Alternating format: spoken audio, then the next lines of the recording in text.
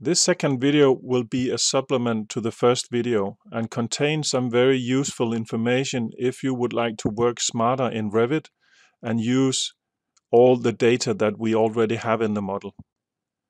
The video will show how you can use Revit for all your calculations in Revit and also how you can benefit of using Dynamo to, for example, synchronize information in the model. Like in the first video, I will start by creating a new project based on the Dan EDU system template. I will link in a Revit model, um, a bit more complex Revit model containing some more rooms.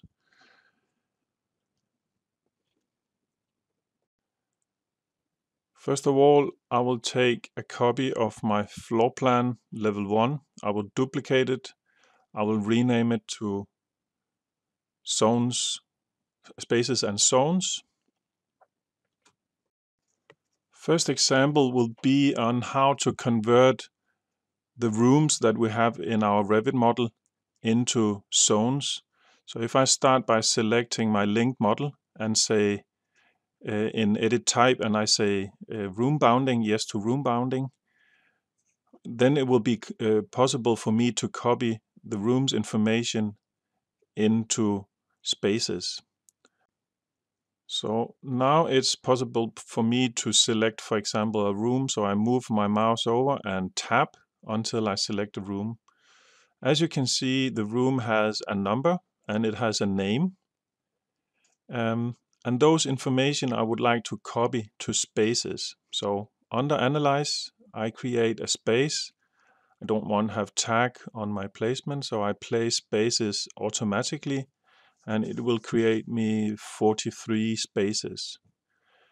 So now when I select a space, you'll see that it has a lot of different informations. I can add specif uh, specified supply airflow um, and I can add another uh, a lot of, of other information to that specific space. It's not a room anymore. Now it's a space.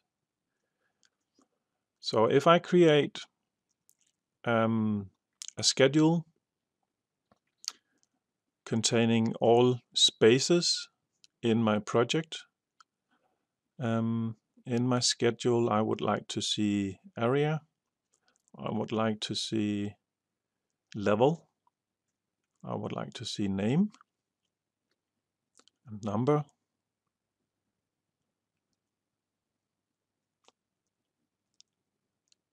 And that might be, and then specify specified air, uh, specified supply airflow. So first of all, I would like to have level and then next column name, number, area, and specified airflow. As you can see here, it has just named all the spaces with the name space and the numbers are just randomly added from 1 to 43. Normally I was supposed to change that manually in Revit, um, but let me try to show you what Dynamo can do for us when we want to actually we have the information but we just need to convert it from the room and into spaces. So I have created a small Dynamo script here um, that I can click run and it will make the conversion for us. So what it does is that it finds all spaces of that specific category. Um, it gets the value from the room uh, parameter and then it's supposed to push that information into the space. That is actually what our Dynamo script are doing for us. So when I click run, it will take all the information from the room and add it to the space and also the number. I have a very small room here that might be a shaft or something and I'll delete that because that shouldn't be a part of it. So now I have a long list of all my spaces. Um, I could select all the spaces uh, in my model and begin to change the value in the specified supply airflow. I can do that in the schedule as well. Another advantage in using uh, the information that we already have in our Revit model might be to, to use uh, zones. Um, in this case, I would like to have three systems in this project. So if I select from left to right, I select all my spaces in this area. and under Analyze, I uh, press Zones. That will give me um, all the spaces um, connected to this zone. Um, that should, of course, also be a part of my schedule. So I add that to my schedule. So and that was zone number one, even though it's named number two at the moment, but we'll change that.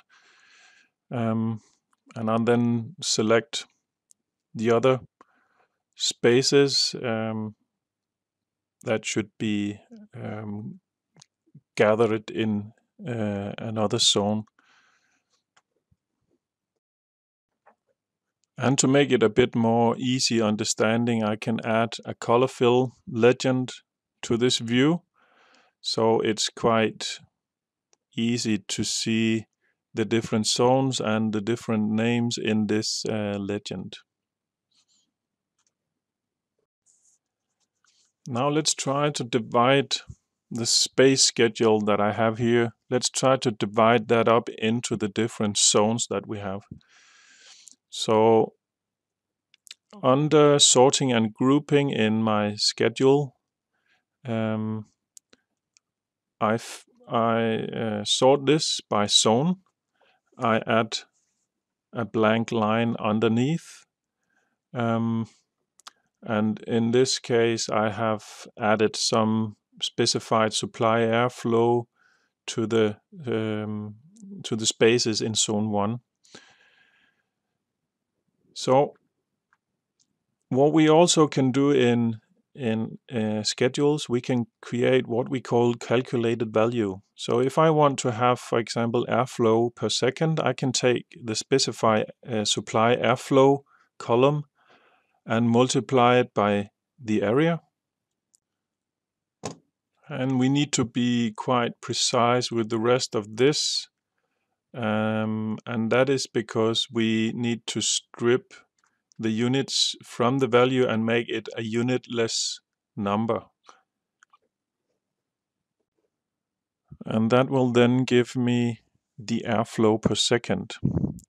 So in the same way, I create a new calculated value because now I would like to have the airflow per hour. So that is not rocket science. So airflow per second multiplied by 3600 and that will then give me the airflow per second sorry per, per hour and again we can then work with the field format if we don't want to have that many decimals.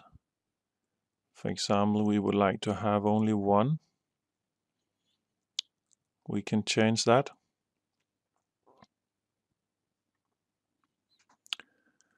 And we can also calculate a total. So under formatting, we can select airflow per hour and say we would like to have a calculation of that total value for that specific zone.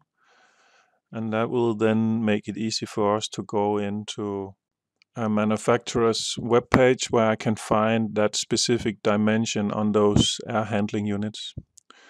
A final comment from here might be that since we're working with this building information model, it's of course possible to take our volume from those zones as you can see when I um, add um, the total volume for this zone. Um, and if I then select a space and change the limit offset it will change the total volume of that zone